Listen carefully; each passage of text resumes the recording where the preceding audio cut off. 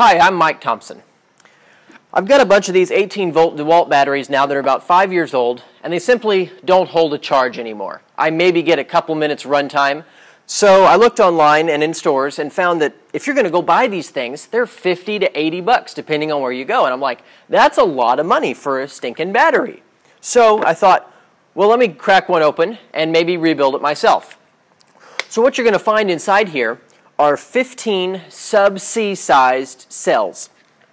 I went online and found uh, a pack of these. They come in, they're sold in 15 chunks because people know what you're going to do with these. Uh, so I went on eBay and for like 23 or 25 bucks, I got the cells. Anyway, I'm going to go ahead and try my hand at rebuilding one of these and hopefully save myself a little bit of money and uh, learn something in the process. So the first thing I'm going to do is remove these six screws here in the top of the battery. They have Torx heads on them. I'll have to uh, push these contacts down through the top here so that I can remove this top cell, which is extending here into the stem of the battery.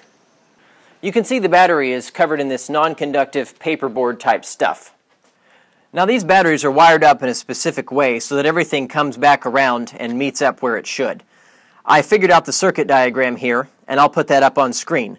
Go ahead and pause or take a screenshot right now so you can have this for reference. Now the batteries that I got came with these little solder tabs already attached.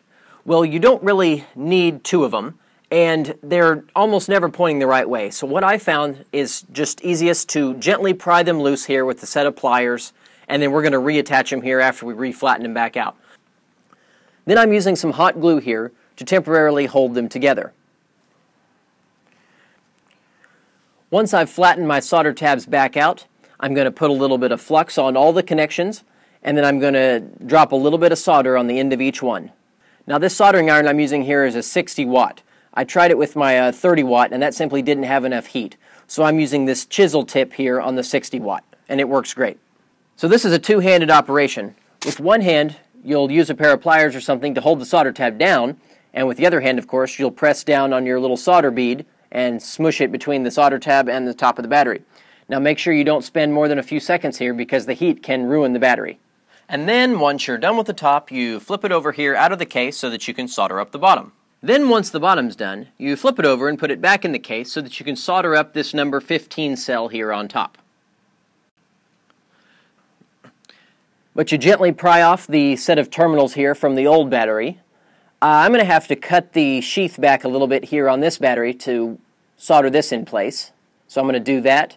I also need to make a little slot here on the side to resolder my thermocouple wire that snakes down in between the two uh, sets of seven.